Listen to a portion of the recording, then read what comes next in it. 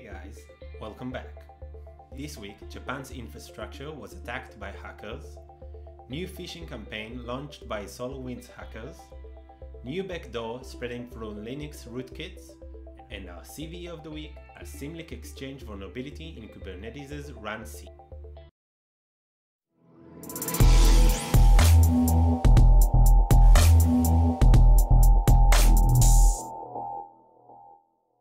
After the US's Colonial Pipeline was shut down due to a ransomware attack a few weeks back. Last week, Japan's transportation entities were also crippled by hackers.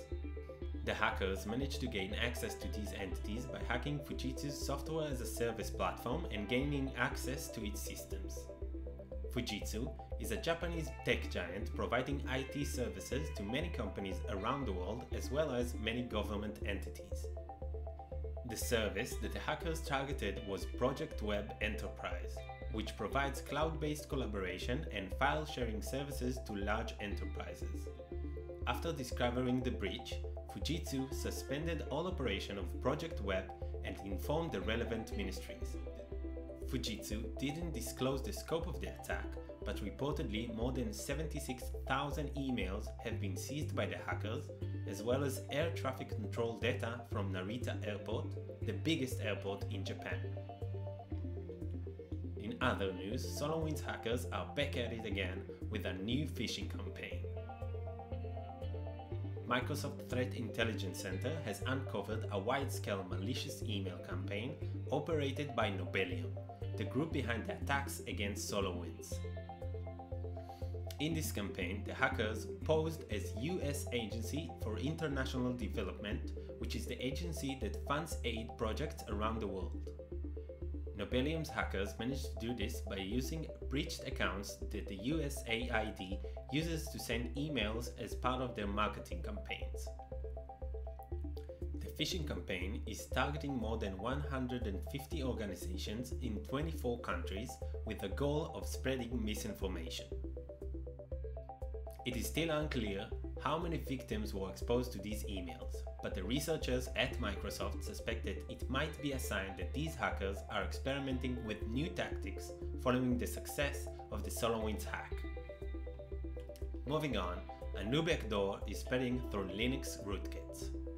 NetLab researchers discovered a new backdoor capable of stealing user login credentials, device information, and executing arbitrary commands on Linux systems.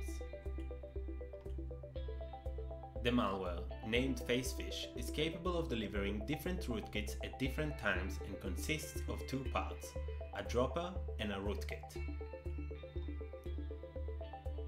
Facefish infects the system by executing a command injection to retrieve a dropper from a remote server, which detects the runtime environment, decrypts a file to get C2 information, and configures the rootkit. This rootkit takes charge of collecting and transmitting sensitive data back to the hacker's server. It is still unclear which vulnerabilities are being exploited by this malware, but the researchers who discovered it say that the targeted system has been plagued by dozens of security issues. Now for our CVE of the week, Kubernetes RunC's Symlink Exchange vulnerability. RunC is a tool that runs containers, which are standard units of software that package up code so applications can run quickly from one environment to another. A researcher took a look at RunC and discovered that the mount destination of this tool can be swapped using a Symlink exchange attack. A Symlink exchange attack occurs when a symbolic link is inserted inside a file and is disguised as the link to the original file. When victims click the symbolic link, they will be moved to the root of a shared directory. In this case, the attack can be executed by mounting a container inside a volume shared with another container that is running a Symlink exchange attack.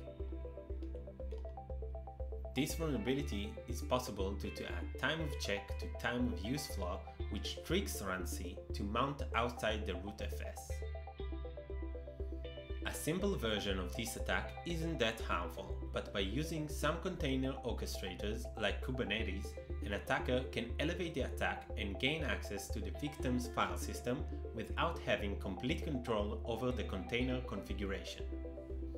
That's it for now. More details about what we just mentioned can be found in the description below. Don't forget to follow us on our other channels to keep up with the latest news and advisories.